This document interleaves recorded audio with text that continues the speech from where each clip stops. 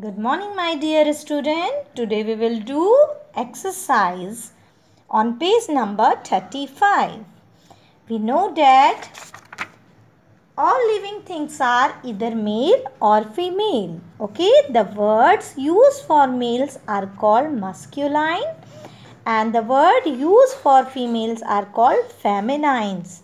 Clear? In a simple language, जो man को describe करते हैं, वो मस्क्यूलाइन एंड जो वुमेन को डिस्क्राइब करते हैं लेडीज़ को डिस्क्राइब करते हैं, वो वर्ड्स कहलाते हैं feminine clear it so will start the exercise is see the following pictures and write male for masculine words and F for feminine words. Clear?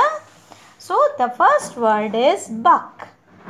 Buck is a masculine. So we represent we write here M.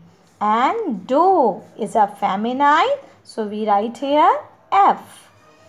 Gander masculine. So we write M here.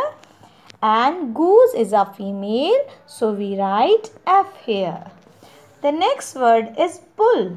Okay, it is a masculine, so we write M here.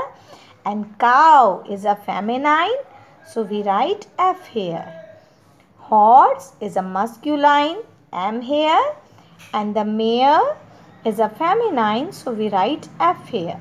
Okay, the rest, these three, three lines you do yourself. Okay, cock, hen, lion, lioness, dog, bitch, ram, eve, drag, duck, peacock and peahen. So you write yourself who is masculine and who is feminine. Thank you.